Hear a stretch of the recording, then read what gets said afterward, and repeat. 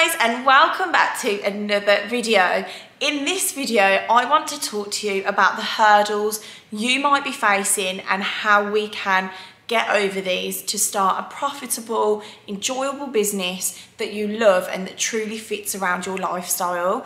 So first things first, when you are starting your balloon business, self-doubt is probably the biggest hurdle that we all have to get over somehow. It's make or break with this hurdle. Self-doubt is completely normal and I want you to know that. Everybody, even the biggest balloon artists in the world, still have self-doubt. So you guys hear me talk all the time about that comparison compound that is built inside with us. So when you are fearing self-doubt, when you are just completely surrounded and consumed with self-doubt, the comparison compound then starts to creep in what I mean by that is you will find yourself scrolling through loads of established artists, you'll be going through explore page, you'll be comparing your work, and that is normal as well, but that will really, really stop you from going any further in your business. Let me tell you how you can deal with this hurdle basically first things first you've got to realize that everybody is on their own journey. You're on yours and other artists are on theirs and everybody is insecure about something at some point and it is completely normal. People have been going for years. Other artists who are established and are showcasing their beautiful work online you don't see the failures you don't see the trial and error you don't see everything that they've gone through to get to that point. That end result, that end picture that they've posted may have been a result of the worst setup and the worst circumstances ever. You just don't know.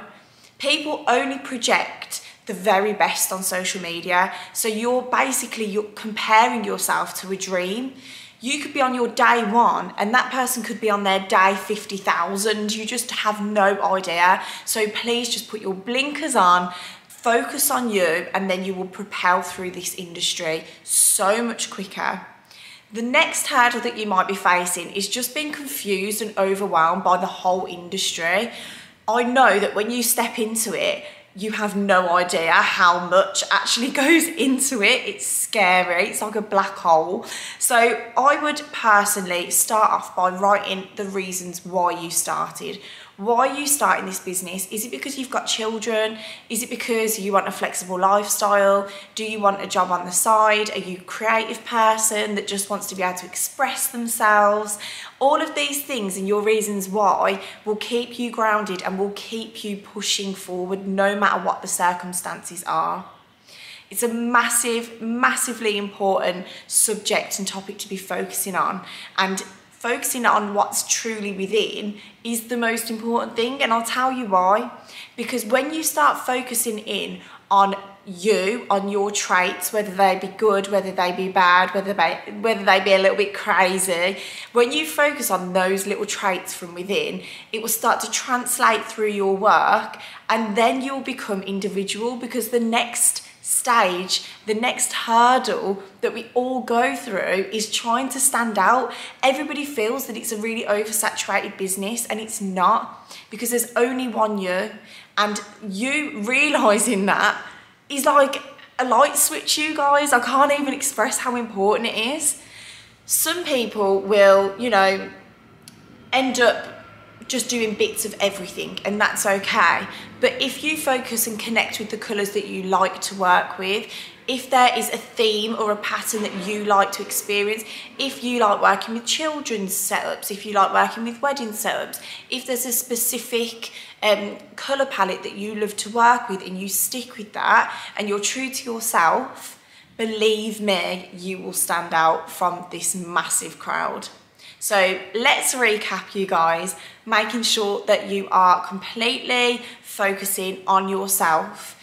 Your insecurities are completely normal. Just don't let yourself compare to people's day a thousand, okay, when you're just starting out. You need to make sure that you are connecting with the colours, connecting with the style, connecting with you with within to make your work completely individual. And you guys you will smash it. I've got you. I've literally got you. I am rooting for you guys. So go out there and just do your best. That's all i can say like it's so important just do your best and then you will never ever fail okay?